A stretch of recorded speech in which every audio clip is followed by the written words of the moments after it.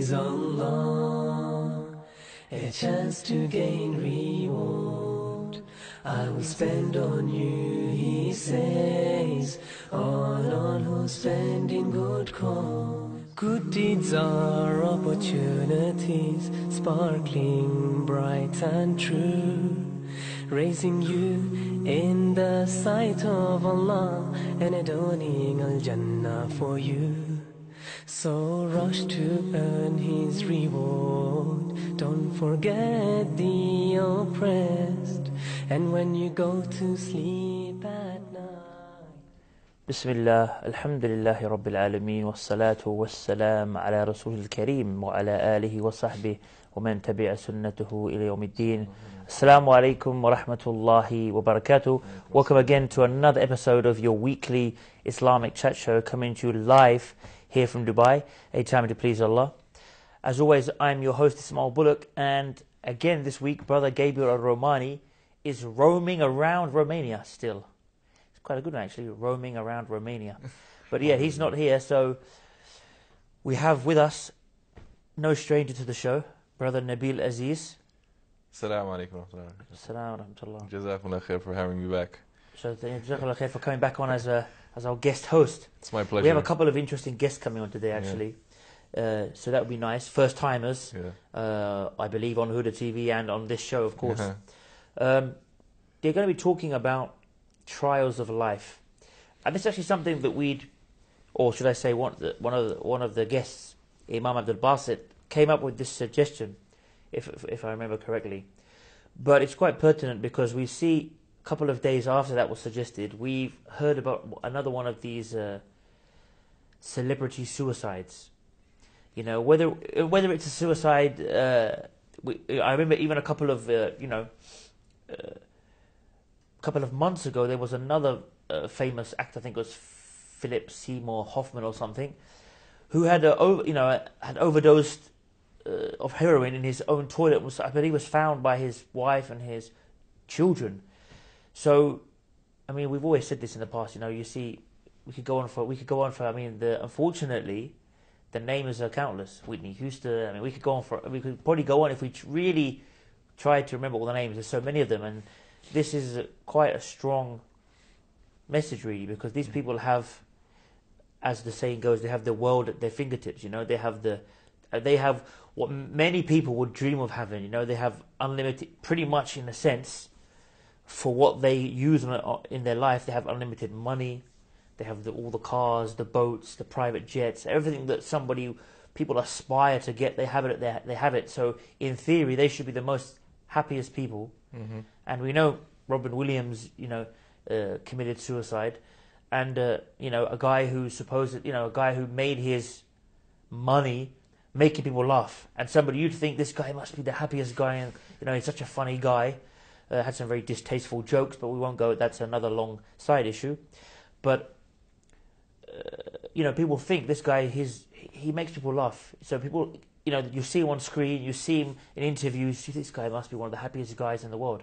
And I remember hearing many years ago that he had thoughts, and he said, you know, I struggle with, you know, suicidal thoughts. He was a drug addict. Uh, again, Philip Seymour Hoffman, very respected. He wasn't, uh, you know, like one of these street guys who became an actor. He was a educated. You know, he was one of those people. You thought of Hollywood of a civilized, uh, good social class, you know, good thinking, well respected, honourable man, you'd think of someone like Philip Seymour Hoffman, or maybe some people would even think that about, you know, Robin Williams.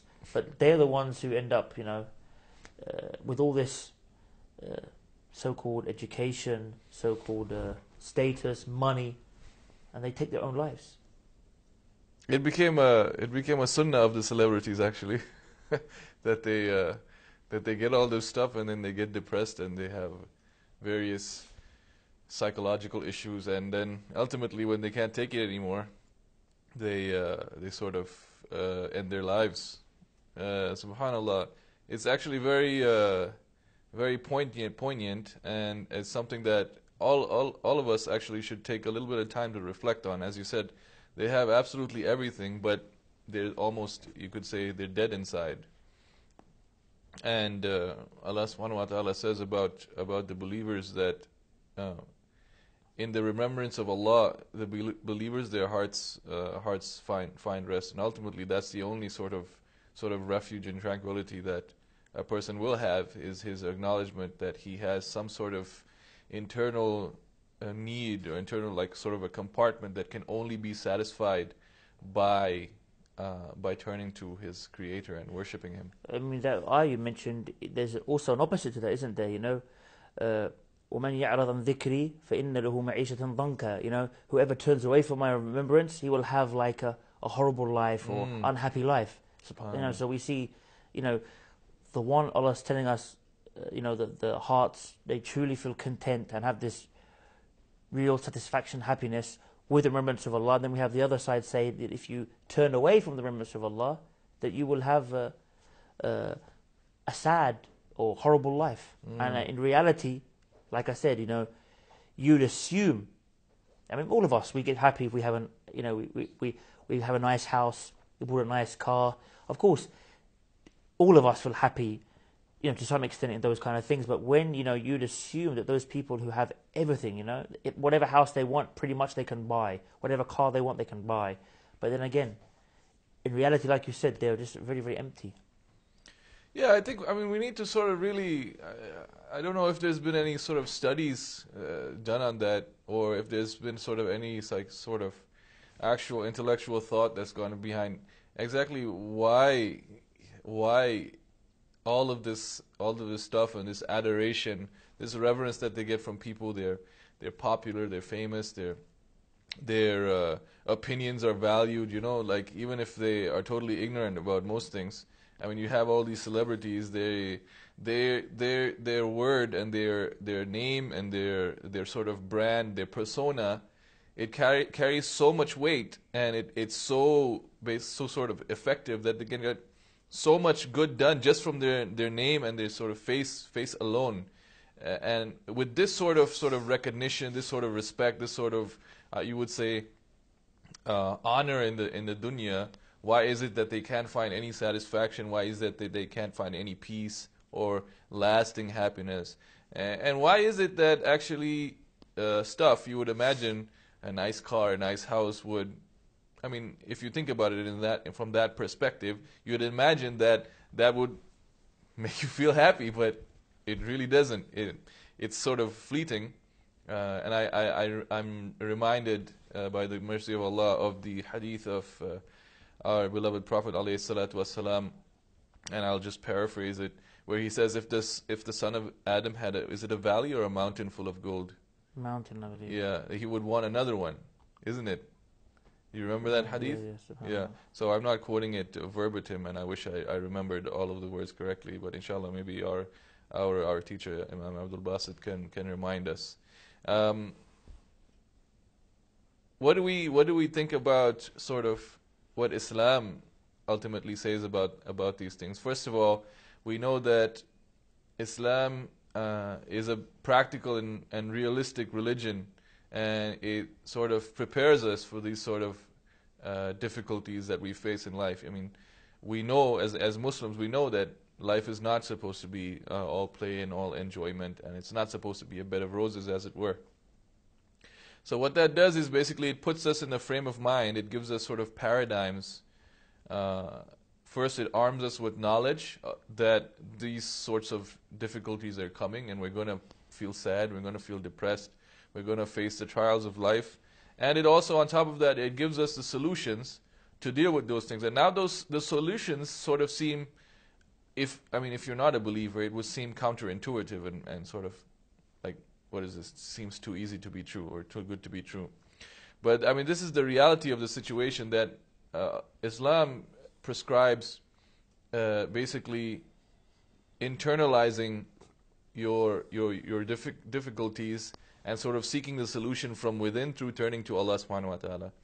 And it does that by first of all giving us a proper conceptual, conceptualization of Allah subhanahu wa ta'ala and his his attributes and his actions. And by, by this I'm referring to uh, uh, by Him teaching us about Himself in the Quran and also explaining to us the uh, the pillar of faith that we call Al Qadr, which is the divine predestination. And the proper understanding of this basically it sort of removes a lot of the worry from our our, our hearts uh, in sort of dealing with those things that happen to us in our environment that we can't really control. And on top of that, it gives you the actual solutions of uh, of dealing with these problems. Uh, the the one of the most really poignant examples and the most uh, the most reflective examples and probably you could say very deep example is the ayat, ayah in Surah, uh, Surah Ali Imran, where Allah is uh, speaking about uh, the Battle of Uhud, and the, he's he's talking about the believers who are complaining after they lost. Oh, where did this where did this come from? They the believers they couldn't believe that. I mean, we're the we're the we're the Muslims, and they're the they're the disbelievers. They're the mushrikeen. How come we lost? Allah Subhanahu wa Taala says this fitna or this trial, this tribulation, this despair that what you're feeling, this is from yourselves.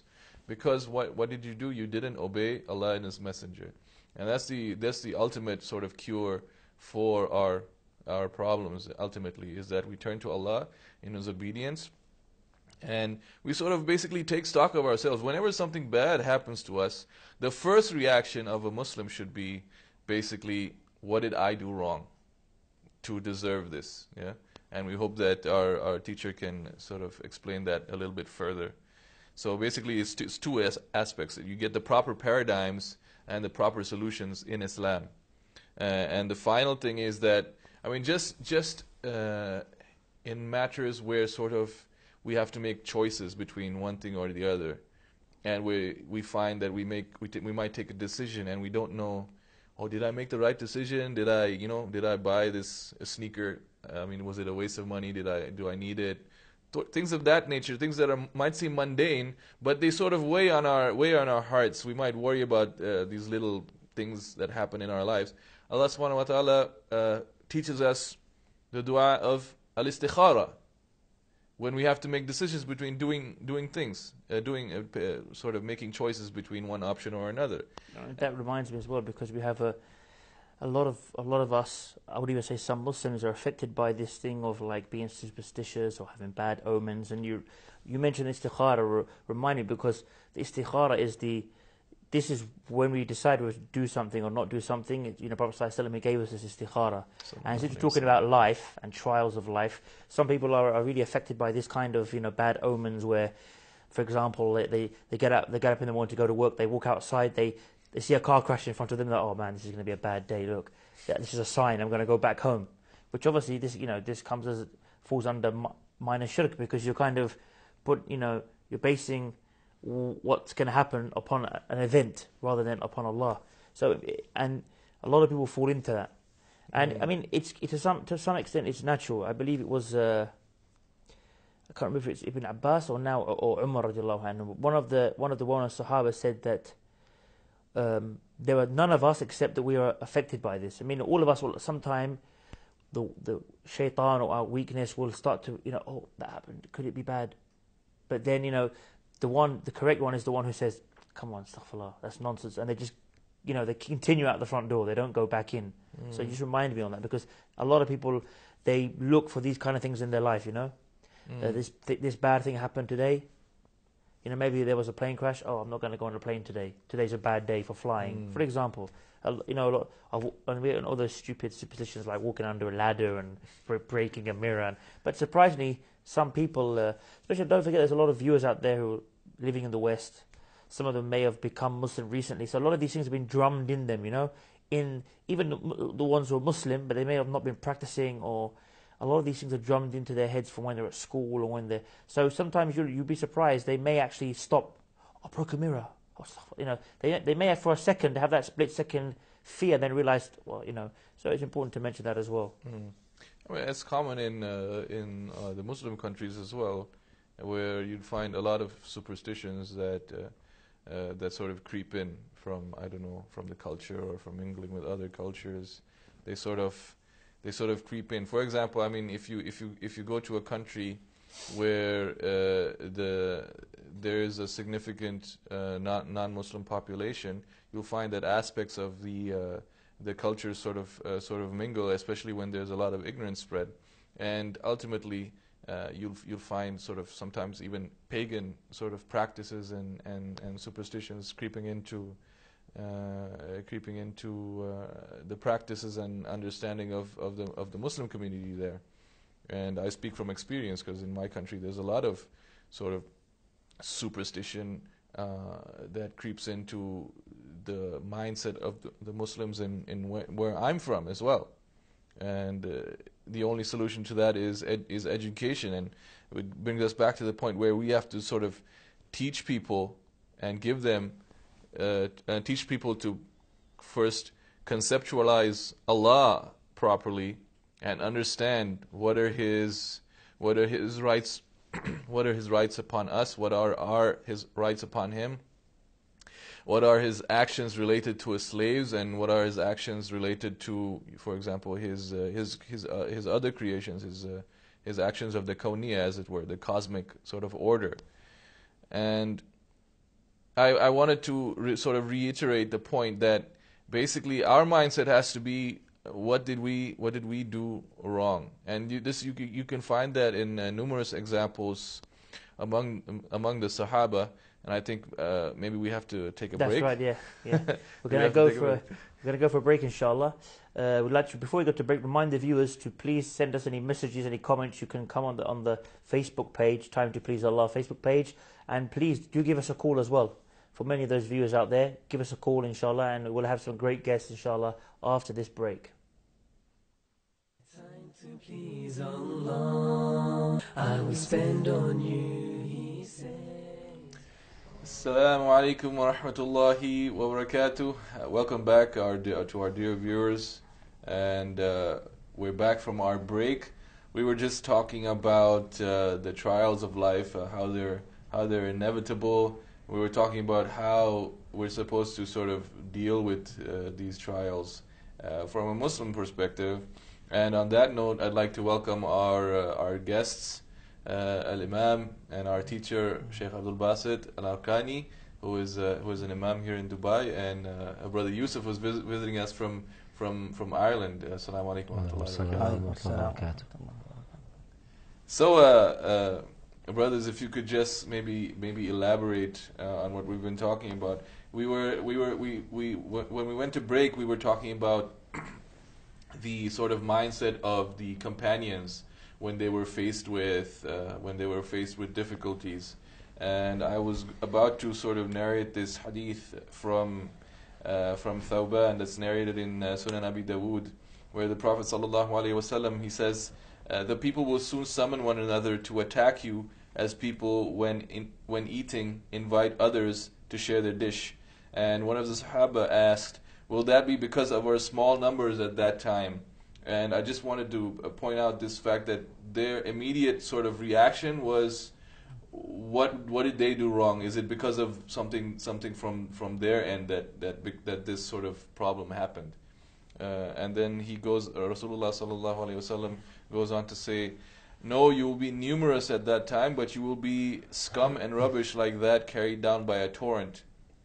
And then it goes on to to finish the hadith. So if you could maybe sort of explain what this hadith means and how it relates to our, our topic, we'd, uh, we'd, be, we'd be appreciative. بسم الله الرحمن الرحيم الحمد لله رب العالمين والصلاة والسلام على أشرف الأنبياء والمرسلين نبينا محمد وعلى آله وعلى أصحابه أجمعين This is one of the authentic hadith on which we should especially ponder in this era when we are literally suffering from all the weaknesses about which the Messenger sallallahu alaihi wasallam spoke. And you can see in this hadith that the companions radwanullahi alayhim they immediately thought about the physical weakness of which they may suffer at that time when people will be attacking them and troubling them. But the problem which the Prophet ﷺ pointed towards is not a physical weakness, it was a spiritual weakness. Here is the challenge for the Muslims to, it's not always a physical thing about which we can easily think, which is creating a problem for us.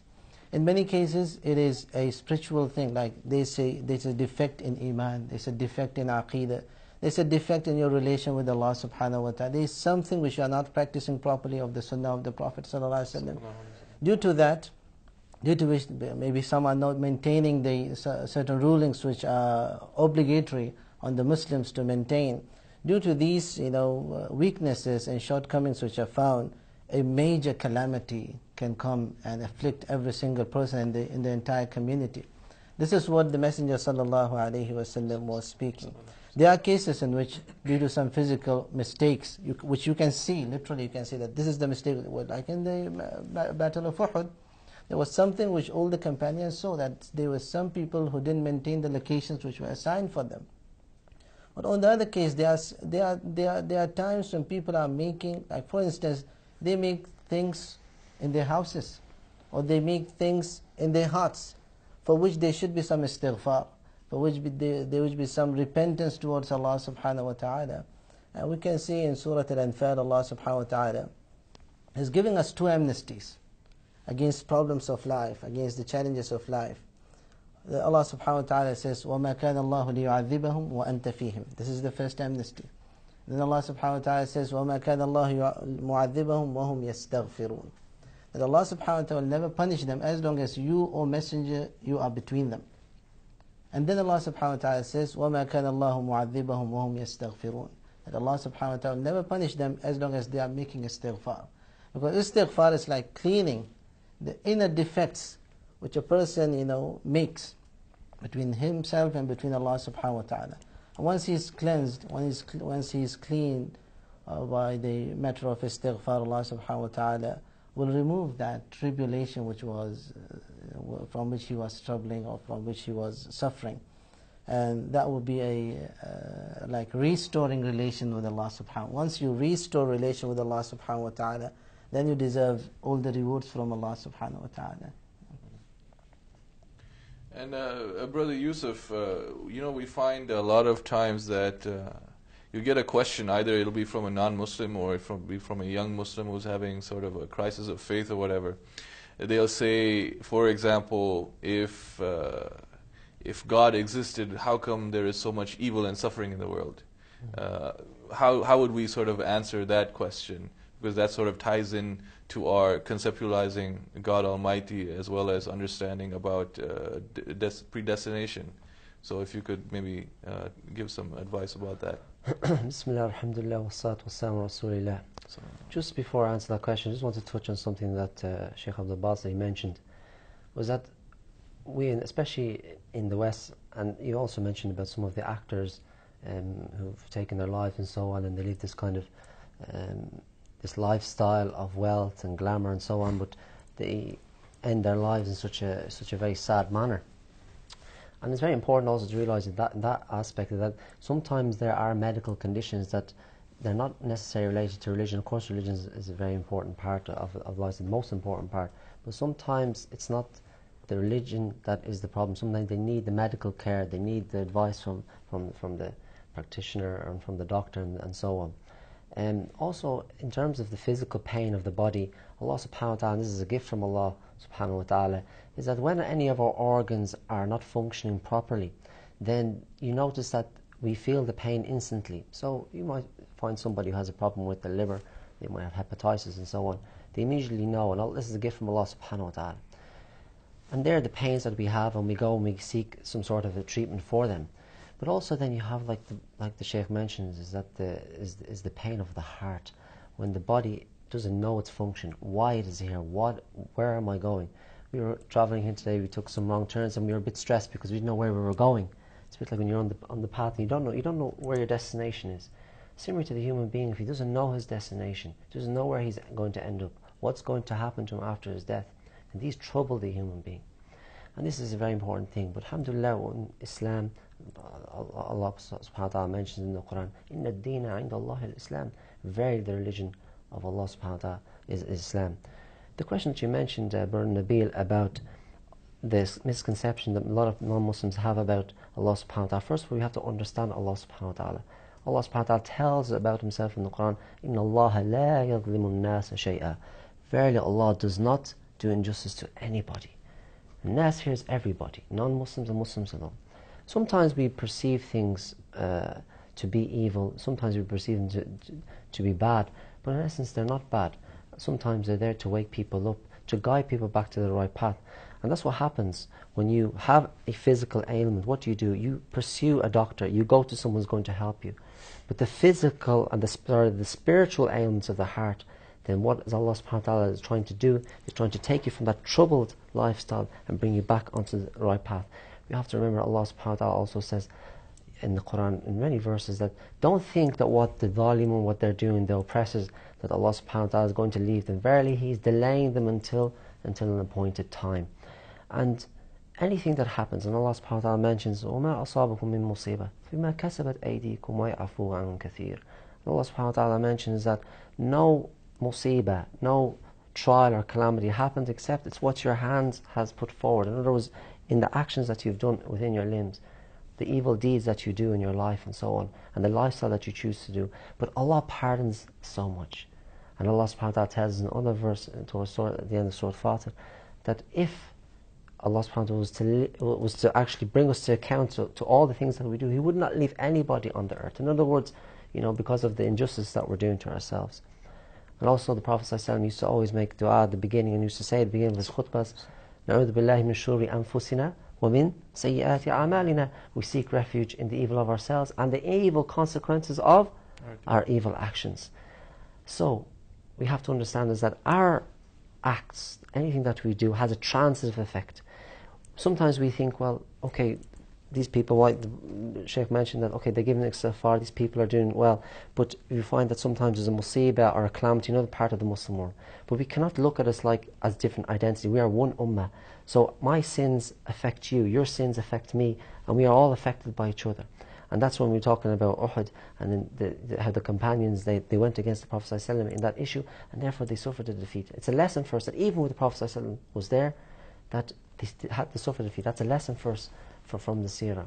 Um, some, it depends, obviously, uh, uh, Brother Nabil, who we're talking about in terms of the non-Muslims. Because Christians, for example, have a concept that God is all good, and nothing comes except for good from, from, from God. So when evil happens, they can't explain it. And this, is, this, is, this can be a problem because it all goes back to the concept of, of, of who God is.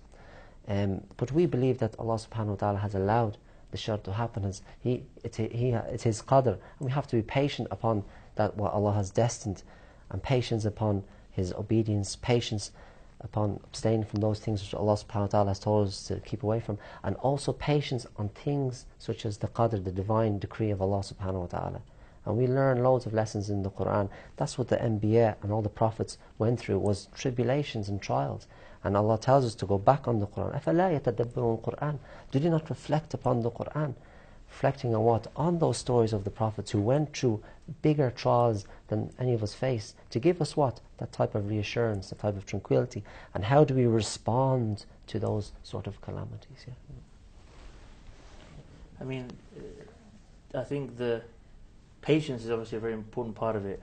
The whole, the whole patience. I mean, even, you know, you have the verse where Allah says, uh, لوابنون لكم بشيء من الخوف والجوع ونقص من الأموال والأنفس والثمرات فبشر الصابرين You know, like we will test you with uh, fear and hunger and taking away of uh, thamarat, like uh, you know, possessions and etc., and give glad tidings to those who are patient. So I think the patience, obviously, is very important in this whole trials of life. I mean, Sheikh Abdul Basit, maybe you can mention to us some of the the other ayat and the ahadith and, and the maybe examples of patience because a lot of people you know they think that the problems they're going through may be the biggest problems ever no one's had to deal with things like I can and I can no longer handle it so maybe a lot of people can relate to these examples of patience and how Allah loves those Allah says you know he loves those who are who are patient True. It's actually the matter of aqidah and iman. Our aqidah and our iman teaches us that when you are in a problem, you should have patience instead of arguing and rejecting the decree of Allah subhanahu wa ta'ala. The one the person who was given, who was taught a proper aqidah from his childhood, from his youth, such a person will not suffer from these problems because he knows that life means two things either to be patient or to be grateful to Allah subhanahu wa ta'ala.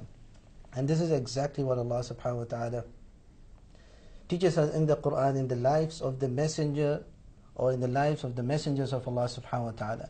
There were messengers who were rulers and kings. So they were grateful to Allah subhanahu wa ta'ala. Sulaiman alayhi salam says, Rabbi awzi'ni an ashkura ni'matak. Allah, assist me so that I can thank your favors upon me. Because he is now enjoying many things from Allah subhanahu wa ta'ala. And the, on the other side you have Ayub alayhi salam and Ibrahim alayhi salam, tested in different ways. And these are, these are being rewarded by Allah again as Sulaiman is being rewarded. Because these people are patient and those people are, or those, uh, that prophet of Allah subhanahu wa ta'ala is uh, grateful to Allah subhanahu It's the matter of aqidah. We have to learn or we have to teach ourselves, our children from the beginning that life means there should be a trial. There should be trials, there should be tribulations. Our faith says to us that there is, the, uh, the, there is no iman without tribulations. This life was granted to us for tribulations. And one, uh, the scholars of Aqidah, they speak about something very interesting. They say one of the requirements of your faith is tribulation. And one of the requirements of your of tribulations in life is sabr. How, you, how can you display your sabr to Allah subhanahu wa ta'ala? How can you display your love to Allah subhanahu wa ta'ala? Your sincerity to Allah subhanahu wa ta'ala? When, when you are not being given a chance to be tested. So when you are being tested, at that time when you show that you are, you are accepting what Allah is deciding for you, and you are very patient in that matter, that, that is when you are showing your love, your loyalty for your faithfulness to Allah subhanahu wa ta'ala. And those who do that, those who have the ability to do that by showing patience to Allah subhanahu wa ta'ala, sincerity to Allah, loyalty to Allah, maintaining a good relation with Allah, blaming, blaming themselves only, these people are rewarded always. And as you mentioned, the Quran always speaks about the rewards of those who are patient. إِنَّمَا يُوَفَّى الصَّابِرُونَ أَجْرَهُمْ بِغَيْرِ حِسَابٍ That the, those who are patient, they are rewarded by Allah subhanahu wa ta'ala without any limit.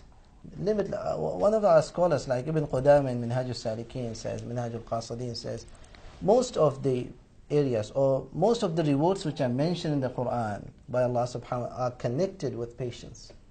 Unless you have patience, you won't be able to get to that place which Allah promised you. You want a higher level in Jannah? Where is your patience? You want to be successful in this life? Where is your patience?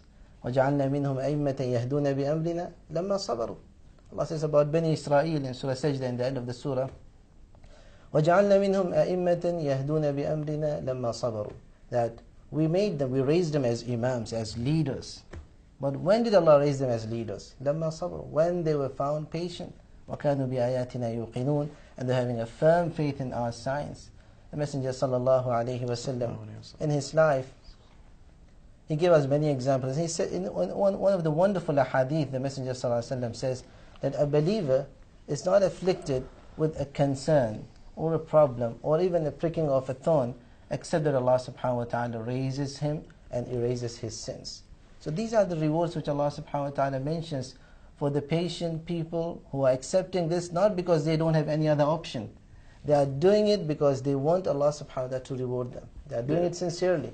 That reminds me of the, the verse that I quoted, which in, uh, the last part of it was وَبَشِّرْ الصَّابِرِينَ If I remember correctly, it, said, it continues to say الَّذِينَ إِذَا أَصَابَتْهُم مُصِيبَةٌ قَالُوا إِنَّا لِلَّهِ وَإِنَّا إِلَيْهِ, إِنَّا إِلَيْهِ رَاجِعُونَ أُولَٰئِكَ عَلَيْهِمْ صَلَوَاتٌ مِّن رَبِّهِمْ وَرَحْمَةٌ That those people that were, he mentions, you know, give glad tidings to the those who are patient, the one that if they are affected, they say, indeed to Allah we came, and indeed we return. And then it says, indeed for those people there are salutations and the mercy of Allah is upon them. So that's just another sign of the kind of reward of being patient. Definitely, definitely. So the rewards of those who are patient is uh, is limitless. The Messenger sallallahu alaihi wasallam says in an authentic hadith narrated in Sahihain that um, uh, ما يصيب المؤمن من ضراء ف- فصبر أو يصيب سراء فشكر فكان خيرا له that a believer is not afflicted by a by a calamity and he is found patient and when he's uh, when he is blessed by a favor of Allah subhanahu wa ta'ala and he is found grateful that is better for him now the difference between a faithful person a man of iman a, a man of good aqidah and a normal person or a person who doesn't know what's iman what's aqidah or what's faith, what, how, what does that mean to have faith in Allah subhanahu wa ta'ala is that a man who's having faith, he knows how to deal with Allah subhanahu wa ta'ala. He knows what is the station of Allah subhanahu wa ta'ala and what is his station in front of Allah subhanahu wa ta'ala. While a person who doesn't know what does God means, what is the, what are they, what, what, what, Allah, what is the station of Allah subhanahu wa ta'ala, such a person doesn't know. So immediately when he's afflicted by a problem, he will say, what did I do? Why should I? Why is it me always? Why is it my children? Why is my family? Why my car? And so on and so forth. On the other hand, the believer will say, there might be some defect in me. It's either Allah subhanahu wa ta'ala erasing my sins or raising me. Allah subhanahu wa ta'ala, you know, if you see the uh, uh, Islamic history, for instance, the most people who suffered are the messengers of Allah subhanahu wa ta'ala. And then those who were close to the messenger sallallahu alayhi wa The Prophet sallallahu alayhi wa how much he suffered. His children died. He was turned out of his city. And the messenger sallallahu alayhi wa in one of the occasions he says, I saw in my dream, I dreamt that my sword is having a crack. And I saw also that some cows are being slaughtered in front of me. The companion said to the messenger sallallahu alayhi wa how did you interpret this, uh, this dream? And he says, the interpretation of this dream that the crack in my sword means one of my close members of my family will die, will be martyred in the battle of Uhud. And uh, cows being slaughtered means that some of my close companions will die in this battle. So these are calamities from which the Messenger ﷺ is suffering. Yet he is grateful to Allah subhanahu wa ta'ala, worshipping Allah throughout night. Not saying, why is it? That's the difference between a believer and a disbeliever. Here, now, the, where do we get the training from? We get the training by living with the believers. There are in many cases we don't give good exam or good, uh, good environments to ourselves to our children, to those whom we love and care about, and then they end up asking questions of this kind because they didn't get the proper tarbiyah. The tarbiyah is tarbiyah ibadiyah. You have to give them a proper tarbiyah from childhood that this is iman. Iman means there will be trials.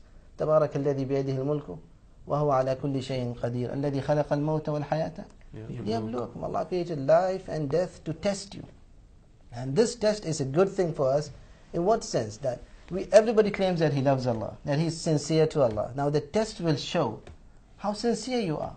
If you are really sincere, you will accept the test and in this tribulation you will find yourself patient because you want to accept this test and the, the, the, more you accept it, the more you are patient, the higher you go and a higher level in Jannah you will deserve. Allah also says uh, in the Quran, and I'm not trying to sort of put you on the spot here, He says, إِنَّمَا الْحَيَاةُ الدُّنْيَا لَعِبُ وَلَهُ so how do we sort of reconcile this uh, ayah and the ayah saying that, of course, we're going to be tested? Is this uh, this play and amusement is that part of the test as well, or is that uh, some sort of? this is a very important answer, uh, question, uh, which basic in which the uh, the verse itself is actually is giving us a definition for this life, for this world. It is saying to us that you, as human beings, as believers, you are higher you are a creature who, which is, who is considered to be a higher being, then wasting your time in these things, then considering these things, which is nothing except uh, except laib and lahu, you are higher than these things. You are created for a higher thing. A human being is having three components. Every human being is having three components in him. He's having an intellectual component, his brain, his mind, and the physical component and the spiritual component. Faith comes here to serve the spiritual component and to put you away from your desires, from the worldly things which may, which may grab your attention and put you away from your destination, from the way towards you are heading. So the, the, the trial here is that this dunya in which you are living was made la'ibun and lahu. It's a, it's a place for amusement and play. So if you are involved in those things, you will miss your way. Why do we say Hadina Sirat al-Mustaqim? This is Sirat al-Mustaqim, so Allah guide us to the straight path, which is taking us to you in a proper way. Sirat al-Mustaqim is the shortest distance between, between two points. But if you will go towards amusement and play and other things which are there in the land, then you will miss Sirat al-Mustaqim. So Allah subhanahu wa ta'ala is showing us both Sirat al-Mustaqim and Sirat of this dunya. That if you will take this life or this dunya, you will miss Sirat al-Mustaqim and you won't be on the proper path. Mm. Well, it's, it's time for another break. So inshallah we'll go for a quick break and join us after the break. And remember, you can send us your messages, comments on the Facebook page or feel free inshallah to give us a call.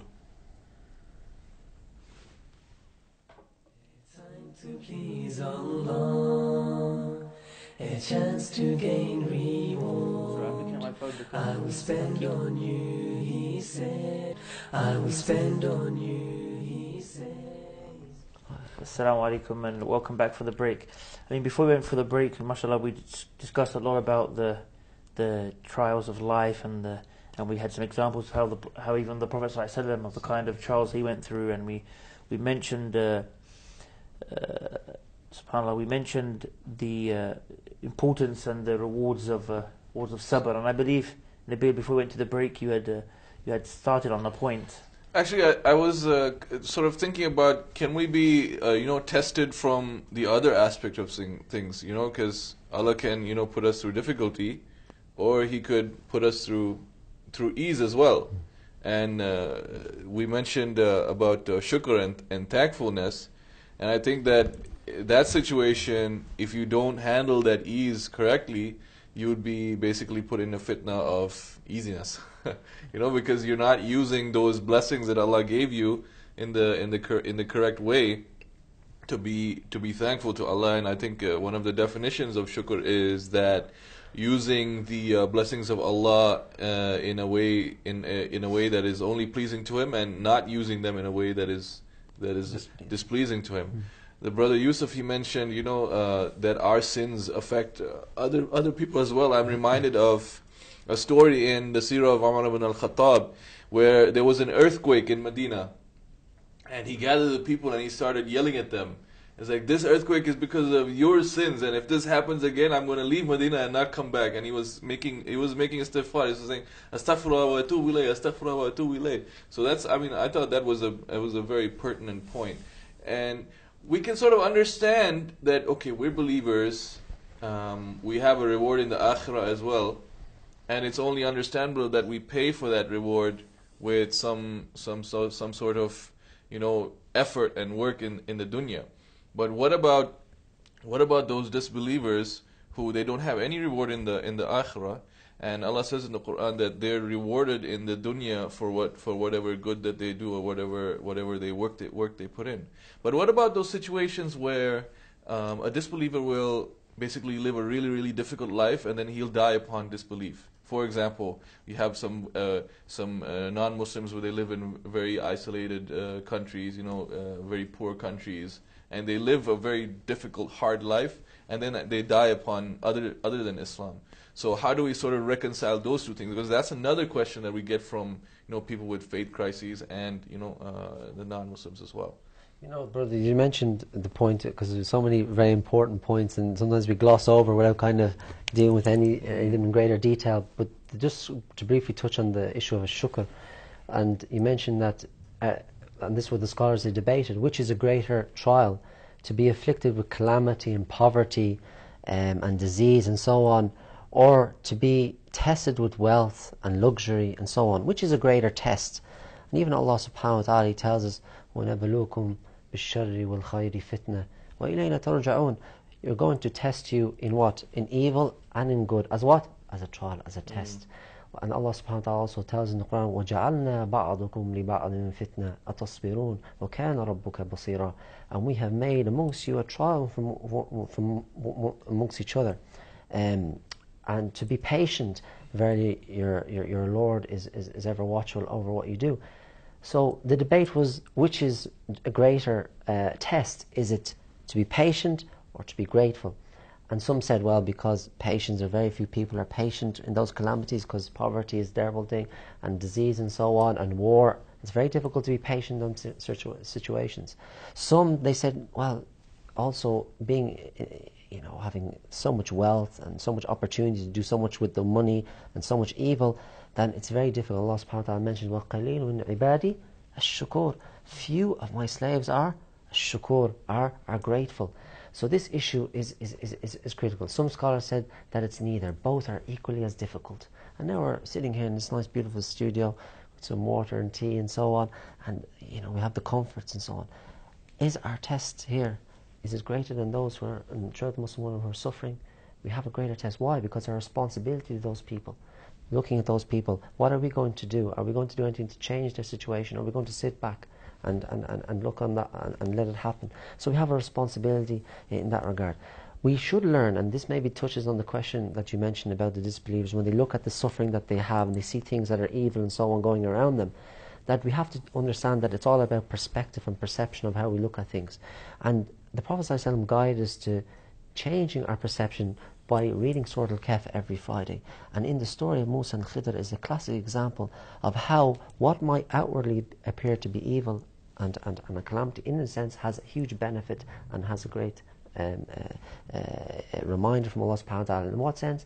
Is that Musa was looking from the outward eye. He wasn't looking from the inward eye, as many of the scholars Tazkiyah they mentioned. Is that he was looking from the surface at this, what Khidr was doing, such as um, destroying the boat and killing, killing the boy. Uh, these things on the surface look terrible.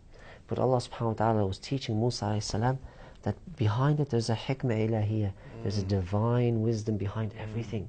And although people might appear to be suffering and so on, Allah subhanahu wa ta'ala, like I always mention, and we always have to have a balance in how we, we look at things. Inna Allah la. Allah does not do injustice to anybody. It's Allah wants people to be guided to the path, gives them opportunities. And how many non-Muslims became Muslims how did they become Muslims? So many stories that we hear, and I'm, I'm sure Ismail uh, has, has, has heard quite a few over the years, is that they had been tried either through an accident or they had some difficulty, and it gave a chance for them to reflect, why am I here? What am I doing? And so on. And that was a chance Allah wanted to push them onto the right path. So we have to always, it depends on how we look at things. Okay, it's all about perception. We can see and look at that person, oh, he's miskeen, he has nothing, he's, he's in a very bad environment. So, but also remember, Allah subhanahu wa ta'ala tests everybody in their, in their own circumstances. You know, people who are in luxury and, and, and, and in wealth and so on are being tested differently. And there are people who are poor and so on will be tested differently. And they'll be all tested based on their circumstances. So we cannot do a blanket you know, uh, you know, we covered them all and say they're all going to be tested the same way. No, they'll be all tested. And The Prophet ﷺ said that the mu'min will be tested hasbadini. He'll be tested according to, to his religion. And if his religion, if he's strong and his iman is strong, then he'll be tested more so. And if his iman is, is weak and low, then Allah subhanahu wa ta'ala He will, he will be, it'll be lightened on him.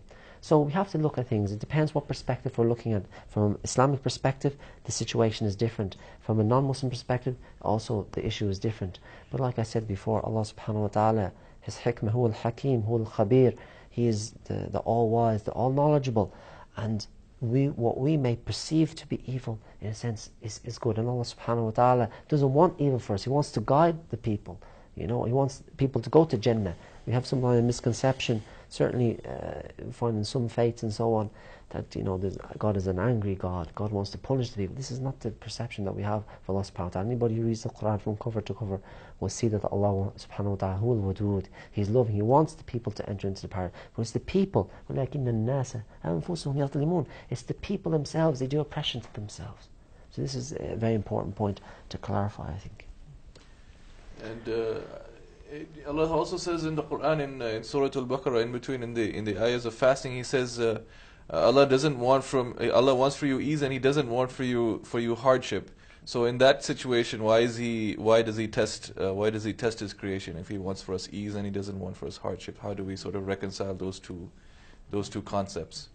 This is a very important thing, which answering which is very important because if it's left unanswered, it may lead some people to atheism.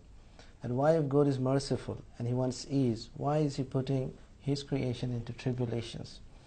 We have to know that human being is a kind of being which is, if, it, if, if they are put in tribulations, then only they come out with good, good qualities. The, good, the human beings are created in a way, in a form that in order to bring them to the proper place, in order to bring out the good qualities which are found in them, you have to put them in tribulation. This is how Allah subhanahu wa ta'ala created human beings. Like gold, for example, when you want to purify gold, you have to put it in fire so to purify it. So for us, you know, again it comes to the, the way in which we have a relation with Allah subhanahu wa ta'ala. We believe that Allah subhanahu wa ta'ala is doing that in order to bring the good which is found in us, bring them out. Mm. So that that's displayed. And there's a criterion between those who are working for Allah and those who are living only for this life just living for, like, for, for the luxuries of life. It's a cheap life actually, to live for the luxuries of life, which will soon, either it will go away, it will be broken, it will be removed, or you will be removed. One from the two things will going to happen. So if you live for, an, for something which is like um, staying for a short period of time, you are spending your life in a cheap way. While a person who is living for the one who is eternal, or for the eternal life, his life is valuable. He's hmm. giving value to his life. And that's what we have to know about ourselves in our relation with Allah subhanahu wa ta'ala. One of the important things which you asked that about those people who didn't, or those disbelievers or non-Muslims who are, who are suffering in this world. Why should they not, or those non-Muslims, you said that they did some good things, something like this? Yeah. Yeah, okay, there's obviously there's, for example, one, uh, one group of uh, non-Muslims, like the celebrities, they have everything in this life. And we know that they're rewarded, they, they get their reward in the dunya, and then in the akhirah they have nothing if they if they die as, and, as non-Muslims and, and they, Allah subhanahu wa ta'ala judges them that way.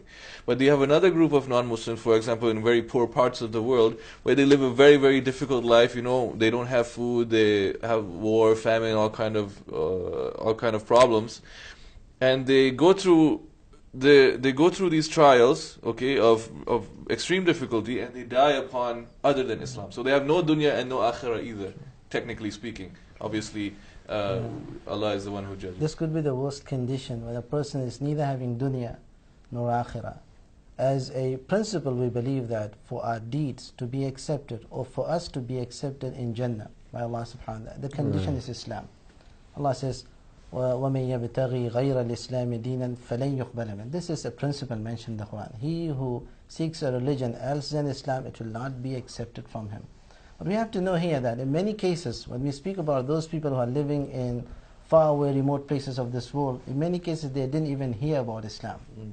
The question which we should ask ourselves as Muslims, what did we do to mm. convey the message of Islam to them? And do we think that we are not responsible for that in front of Allah subhanahu wa ta'ala? See how hard the Messenger ﷺ was while being in Medina in that time when they don't have these transportations and all those things, all those means. He would send messengers all the way to Persia, means a journey of two months. Mm. All the way to Sham, a journey of two months. All the way to Yemen, in order to convey the message. Mm. How much are we doing today? But we still believe in Allah's mercy that those people who didn't hear about Islam, Allah may give them the station of people of Fatra that they never heard about Islam. They never nobody conveyed the proper. Even some scholars of Aqidah, they even say if the message of Islam was conveyed to a person in a wrong manner, he's still a man of fatra. Because nobody conveyed the proper message of Islam to the man. Allah is merciful. For such people, there might be a test in Akhirah. And if they qualify the test, Allah will judge, make a judgment for them.